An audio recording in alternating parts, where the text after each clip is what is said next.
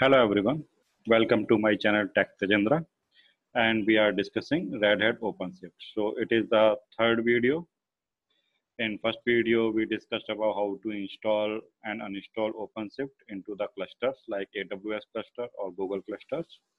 Then in second part, we discuss what is OpenShift, the OpenShift architecture, the build, Kubernetes, uh, Docker concepts, um, and then uh, we understand uh, what are the build and deployment components of the OpenShift and uh, also discussed the demo application, a little bit of demo application, which we will do in this tutorial and in the next tutorial.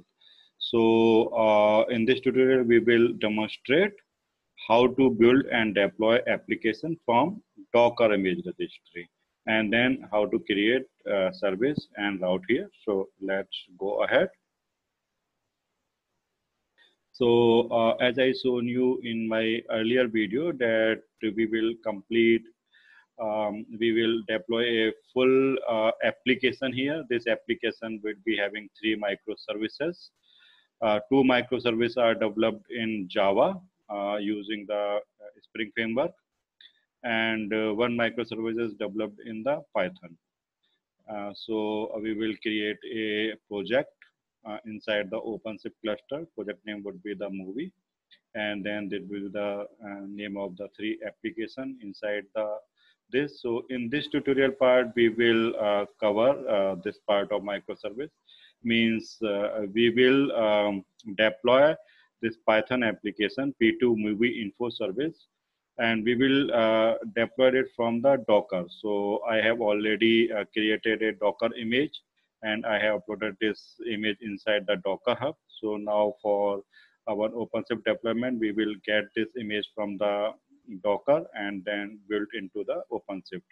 Then once it is get built, deploy, and then we will check the services and route for this uh, microservice and we'll try to access this microservice from the network.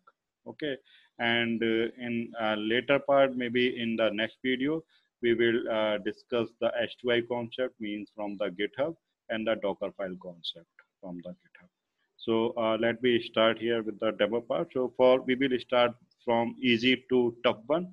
So for this for this video i will use the web console of OpenShift because using the web console is very easy to deploy any application but in web console you cannot uh, run do everything uh, of OpenShift. Okay, so for uh, for getting full control on OpenShift, you must need the CLI.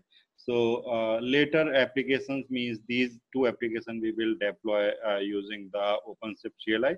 But uh, for let's start with the easy step. So for deploying the Python application from Docker, let we use the OpenShift Web Console. So uh, let me start from here. Uh, let me switch uh, to the, okay. So uh, let me first show you, this is my uh, Docker Hub account. And here, uh, this is the image I have already created inside the Docker Hub. Let me show you the tags here. So it is having one latest V2 tag, okay? So for this application, uh, let me start uh, with the OpenShift console. As you can see, it is my OpenShift console. Uh, you must to first log in into the console. It will ask the user ID and password once you will log in. So that will be the first screen. It will show you the projects if there is any. Otherwise, you can create the new project. So let me start by creating the new project. So it will ask the name of the project. Let's give it name movie okay no need to give other information so let first we create the project. So our project movie is has been created. Okay now uh, it's empty project no applications are there.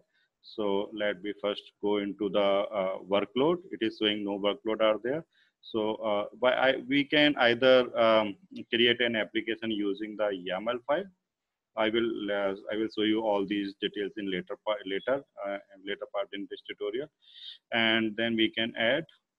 Okay, so like it is showing you uh, uh from Git, from container image, catalog, Docker file, YAML, database. Okay, So as I told that this Python is in our container.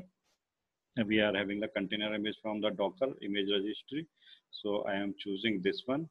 Uh, it is now asking the image name. So our image name is this one. So let me copy it from here. And then let me uh, paste it here and search it. It is saying that. Uh, let me also provide the tag here.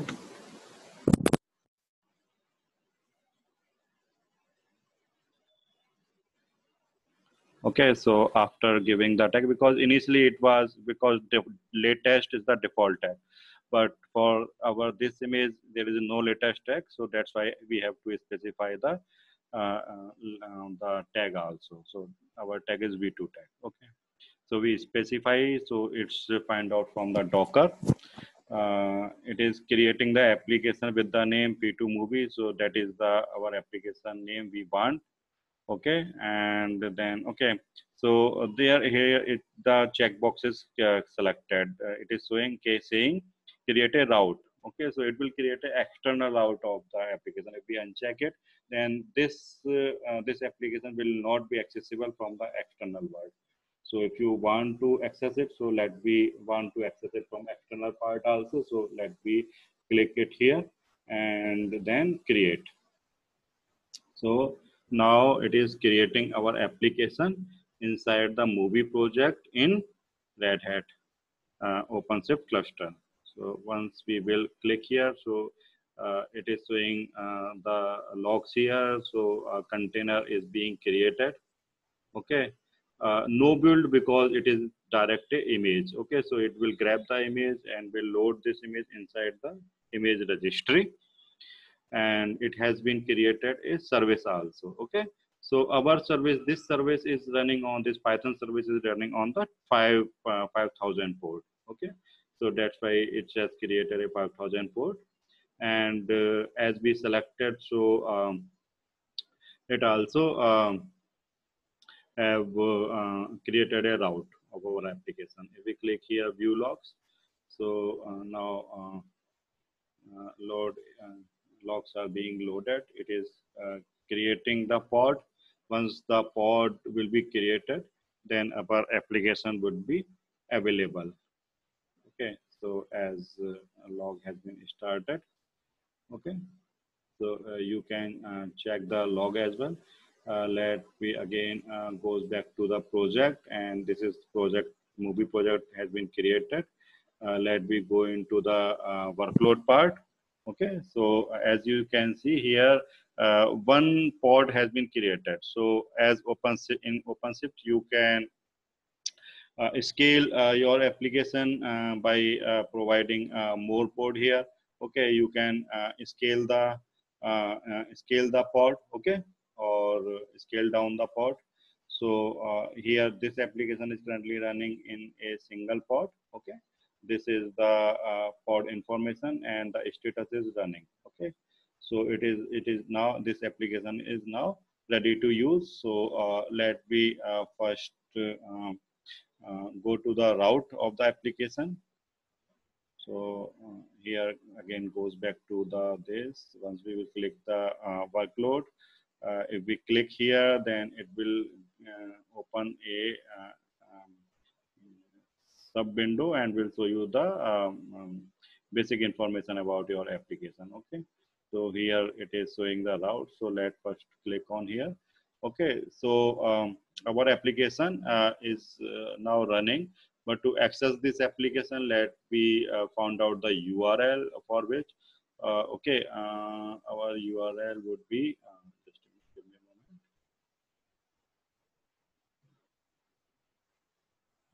Okay, uh, so uh, it is uh, our uh, code. Uh, so uh, our code will access this URL to get the information from this Python web service. So let me copy it here and let me give this URL here. Okay, and give some ID. Okay, so it is returning the JSON file. One uh, field is movie ID, another name is the movie name. Okay, so our application is working uh, very fine. Okay, uh, so here we have checked, cross-checked. So it has uh, deployed the application and uh, um, uh, from the Docker, and this application is running perfectly. Okay, so we have completed this part and in next part, we will not use the uh, console, OpenShift console. Now from the next part, we will use the OpenShift CLI and then I will inside the CLI, I will show you the project which we have already created through console and this application. And in CLI, I will also show you other details of this application like service and the routes and uh, then uh, we will uh, deploy other applications like this application as a S2I and s1 application as a, a, docker file so this would be our main application which will connect these two microservices will get data from these two microservices as a json object and then we'll display uh, this data on the web console. So thanks everyone. In next part, I will cover these two Thank you. Thank you for that.